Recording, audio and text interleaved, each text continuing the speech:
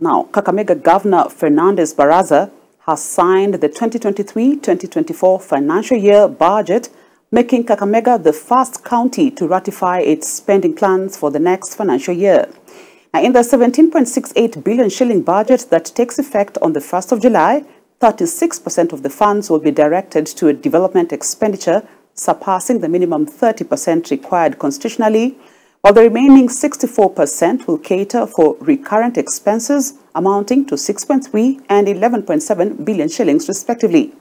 The Ministry of Health Services takes the lion's share of the budget, with the sector's development agenda alone largely on equipment,